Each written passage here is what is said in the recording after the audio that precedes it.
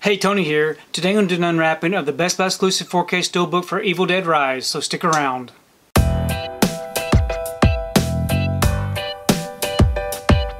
So today I received my order for Evil Dead Rise. This right here is a Best Buy exclusive 4K Steelbook. Here's the front, and here's the back. If you'd like to read up on it and check out these special features, you can go ahead and pause and do so. I'm going to go ahead and remove this from the wrapper and we can take a close look at this steelbook. Okay, I've got the wrapper off and the J-card removed. Here's the front of the steelbook. It is a matte finish, no embossing or debossing. Great looking image there with the title, which I really like. Then here's the back. We got the um, grater right there on the back, which I think is a nice touch. There is no embossing or debossing on it. We open it up, we have our front and back together. On the inside it does come with a digital code and our two disc. We have our 4K disc here with no disc art. And we have our Blu-ray disc with no disc art.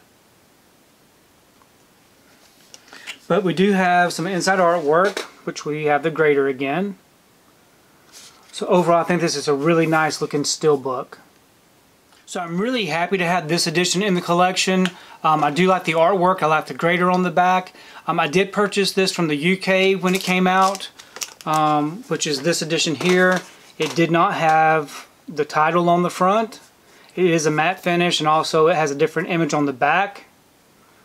So it's nice to have two different versions. I will link the video that I did up top so that you can watch that unwrapping to see what the inside looks like.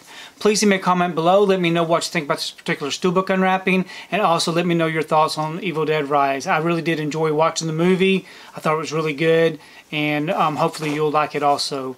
But if you like what you saw here today, please give it a thumbs up and share the video. If you haven't subscribed to my channel, I really appreciate it if you would subscribe. If you do subscribe, please remember to hit that notification bell so you can be notified every time I upload a new video. If you haven't found me on my social media accounts, I'm on Instagram, TikTok, and on Twitter. And if you'd like to find out what I've been watching, you can find me over on Letterboxd. I do have links below. But thanks again for watching, and we will see you next time.